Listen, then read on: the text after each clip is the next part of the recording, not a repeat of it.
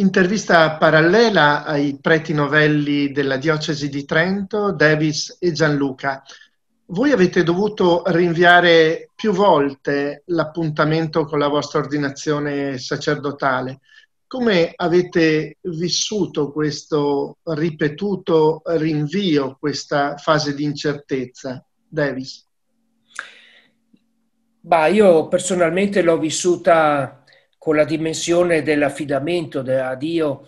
E, ecco, eh, ho pensato, ho pensato, ecco, ci siamo un'altra volta dal momento che già, già col diaconato ho avuto un, un rinvio a causa ecco, della scomparsa di mio padre e ho pensato, accidenti, un'altra volta però ecco, per me è stato, è stato utile per eh, centrarmi ancora sul, sul senso più profondo della chiamata e mi è stato utile per, eh, per ricentrarmi veramente, per ricentrarmi sul Signore e su quello che mi chiedeva eh, di diventare, insomma, ecco, di essere per gli altri. E lei Gianluca? Sì, anche per me è stata un'occasione comunque per cogliere anche la precarietà che caratterizza la nostra vita, il fatto che possiamo programmare fino all'ultimo, ma poi ci può essere sempre un qualcosa che, eh, che ci spiazza, ma va colto appunto anche questo come un'opportunità per rimettersi in, in, gioco, per porsi anche delle domande, per cercare anche come comunità delle, delle risposte a quelle che possono essere delle, delle difficoltà che appunto ci devono rendere però più, più forti, più solidali e, e, porci anche in ascolto di quella parola che penso che possa appunto darci delle indicazioni. Gianluca, in questo periodo di emergenza sanitaria, prima la quarantena, poi questo molto lento ritorno ad una cosiddetta normalità, che cosa vi ha dato? Proviamo a cogliere il positivo. Ma sicuramente i tempi un pochino più dilatati ci hanno dato la possibilità di fermarsi un pochino meglio sulla parola, eh, anche se mancava chiaramente la dimensione comunitaria che poi abbiamo potuto così riscoprire e apprezzare maggiormente quando si è potuto ritornare appunto a celebrare, a pregare insieme con, con gli altri.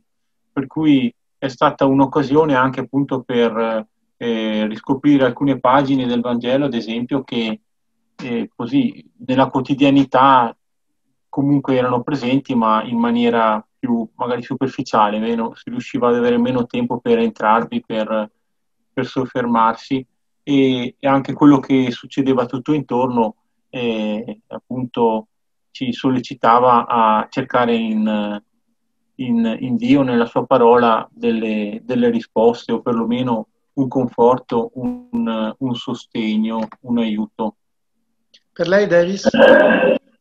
Per me, davanti a questo punto di domanda, eh, prima di tutto c'era il come, come raggiungere le persone, come, come, dare la testimonianza, come portare il Vangelo alle persone che sono costrette in casa. E, e quindi noi, beh, io rimane, ero rimasto qui in parrocchia e, e, quindi noi trasmettevamo la Santa Messa e le, le funzioni, ecco, le trasmettevamo via radio.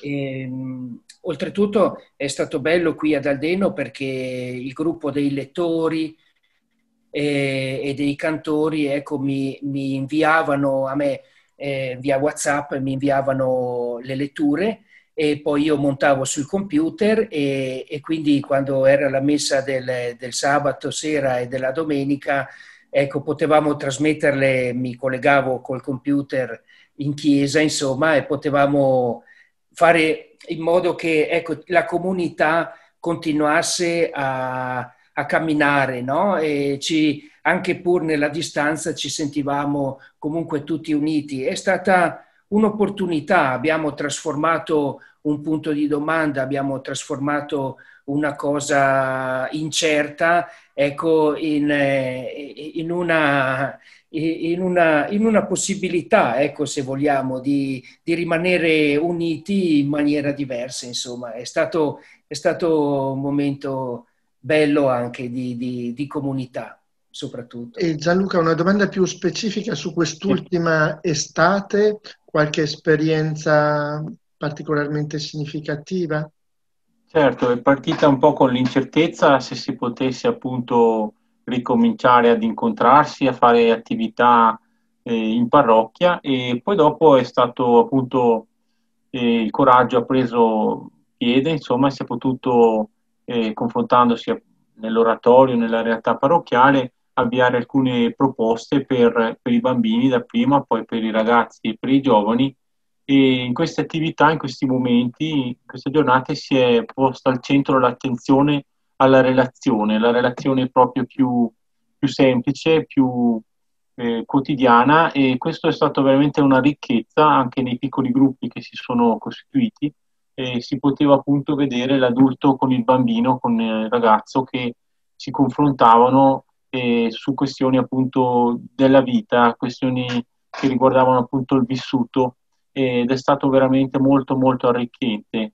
E poi, poi un po' alla volta anche poter riprendere le relazioni con le persone della comunità, anche con, le, con gli ammalati, con le persone, eh, con alcuni di loro perlomeno eh, in forma diretta, è stata veramente una, una grande occasione per riscoprire la centralità della relazione, che penso sia proprio anche il fulcro della nostra fede, del nostro vivere insieme, del nostro essere comunità, non, non isole, ma appunto e insieme anche al Signore che ci dà opportunità anche per, per stare insieme in un certo modo, in maniera costruttiva, in maniera eh, bella, insomma. Davis, una, un'immagine di quest'estate? Dunque, io quando mi chiedi un'immagine di quest'estate mi viene in mente il volto di mia madre perché sono andato, sono andato su a casa eh, perché no, non ci vedevamo veramente da, da tanto eh, ed è stata per me un'occasione per eh, stare vicino a mia madre che si sta piano piano ristabilizzando e, ed, è stato, ed è stato veramente bello. Ed è stato bello questo eh, anche in prospettiva no? poi delle, del, dell'ordinazione, quindi di, di, stabilizzarmi definitivamente qui in, in parrocchia è stato un momento bello anche per guardarsi negli occhi, per, eh, per un semplice ti voglio bene, che è tanto semplice però insomma non, non è mai, non è mai banale. Grazie, grazie di questa confidenza molto umana e significativa. Voi prendete il posto, si può dire, anche di molti preti che purtroppo se ne sono andati proprio a causa di questa pandemia.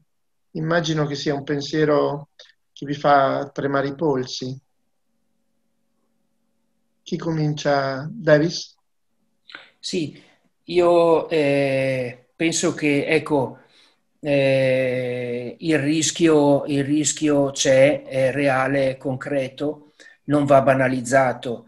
Eh, tanti medici, tanti infermieri, tanti operatori hanno, hanno, rischiato e continuano a rischiare la loro vita.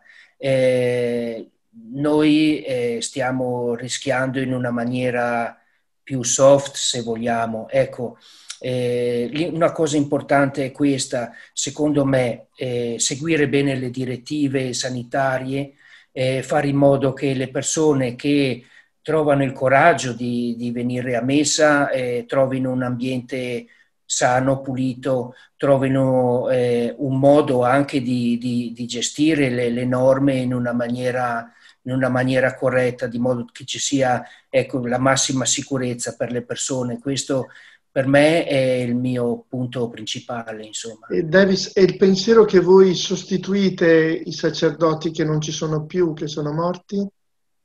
Sì, eh, beh, me, me è indegno eh, la sostituzione, insomma, ecco, io penso che chi se n'è andato è sempre un vuoto insostituibile. Noi noi possiamo, ecco, per me penso possiamo fare la nostra parte, dare il, il nostro tassello eh, di, di, di umanità, portiamo la nostra umanità, portiamo la, la testimonianza del Signore e cerchiamo di, di, di proseguire ecco, quest'opera meravigliosa che, che, è la testimonianza, che è la fede. Gianluca concorda, certo. vedo. Sì, abbiamo ricevuto tante testimonianze da sacerdoti, da religiosi che si sono spesi eh, anche negli ospedali, nelle case di cura in questo periodo e hanno anche perso la loro vita, per cui ogni volta venendo a conoscenza appunto della, della loro dipartita, della loro vita al padre, era sempre un, un fermarsi, un riflettere su, su, una vita spesa appunto per gli altri, insieme ai fratelli e condividendo anche questo tratto di strada, questo tratto della storia che ci pone appunto tanti interrogativi e mi piace appunto ricordare anche eh, questi sacerdoti eh, che, hanno, che, sono morti diciamo, durante questo periodo, ma anche quelli delle nostre comunità che, che, ci hanno guidato sempre e magari alcuni sono appunto saliti al Padre e ci hanno lasciato una, in eredità una testimonianza di, di fede vissuta e di vicinanza anche alle nostre comunità, delle quali anche noi insomma Davis e Gianluca, voi eh, non venite ordinati nel tempo mm, delle messi biondeggianti di giugno, ma nel tempo dei grappoli maturi, della vendemmia, della raccolta. Di che cosa vi sentite in qualche modo frutti maturi, sì possiamo dirlo, maturi Davis?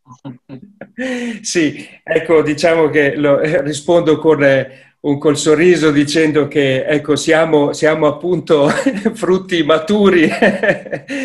eh, ecco, si potrebbe dire, si potrebbe dire così. Eh, io mi sento, mi sento frutto anzitutto della misericordia di Dio eh, e quindi dispensatore di questa misericordia. Non, non mi piace pensarmi come un rubinetto della misericordia di Dio che apro e chiudo a seconda dei, dei miei limiti umani, delle simpatie, delle antipatie, ma ecco, essere un sacerdote accogliente per tutti, ma nel, nella profondità proprio del, del sentimento umano. Ecco. Eh, mi sento Luca?